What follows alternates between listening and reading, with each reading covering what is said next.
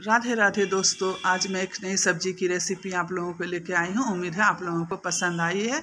ये एक कैता है और इसे मैंने अच्छी तरह से चाकू की सहायता से इसे ऊपर से छिलका उतार रही हूँ। आप सभी देख ही रहे मैं किस तरह से कर रही हूँ। अब मैं इसे छोटे छोटे पीस में कट कर लूँगी और मैं पानी में से उबाल लूँगी ताकि ये अच्छी तरह से पक जाए। मैंने इसे दे दिया है और ढक्कन भी लगा दिया है। आप सभी देख ही सकते पानी में अच्छी तरह से उबाल आ गया है। अब मैं एक चम्मच की सहायता इसे उलट पुलट कर दूँगी ताकि ऊपर नीचे एक हो जाए और मैं चेक भी करूँगी। चेक मैंने कर लिया है दोस्तों, ये अच्छी तरह से पक गया है इसे मैं निकाल लूँगी और ठंडा होने पर इसी तरह से मैं इसका चम्मच की सहायता से बीज निकालूँगी। इधर मैंने दो प्याज और कुछ लहसुन कट करके रखा हुआ है। और सभी को मैं एक मिक्सी के जाल में डाल करके इसका पेस्ट तैयार कर लूँगी पेस्ट तैयार हो गई है। अब मैं इसमें मसाले मिला देती हूँ। ये धनिया जीरे के पाउडर, दो चम्मच थोड़ी सी तीखी लाल मिर्च पाउडर, नमक स्वाद अनुसार, हल्दी पाउडर।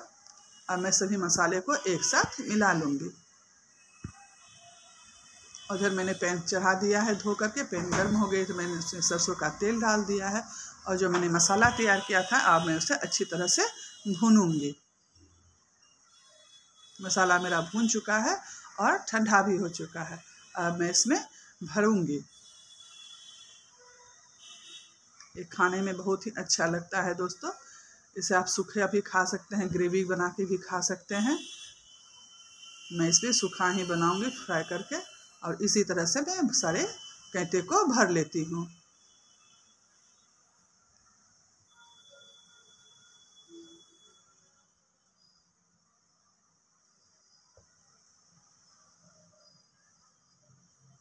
मैंने सभी कैते को भर लिया है दोस्तों।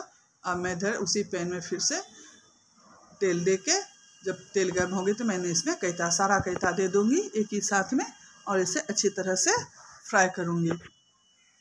देखिए, एक तरफ़ से हो गया था, मैं दूसरी तरफ़ से पलट रही हूँ। अब मैं धीरे धीरे सारे कैते को पलट दूँगी। यहाँ तो मैं इसे कहता कहती हूँ दोस्तों। आप लोग क्या कहते हैं? कमेंट करके ज़रूर बताइएगा। मेरा कहता बन चुका है। मैं गैस बंद कर दी हूँ दोस्तों। अब मैं इसे प्लेटिंग कर रही हूँ। ये रेसिपी आप लोगों को कैसी लगी दोस्तों? कमेंट में ज़रूर बताइएगा। यदि मेरे चैनल पर नए हैं तो मेरे चैनल को सब्सक्राइब कर लीजिए। लाइक और शेयर कीजिए।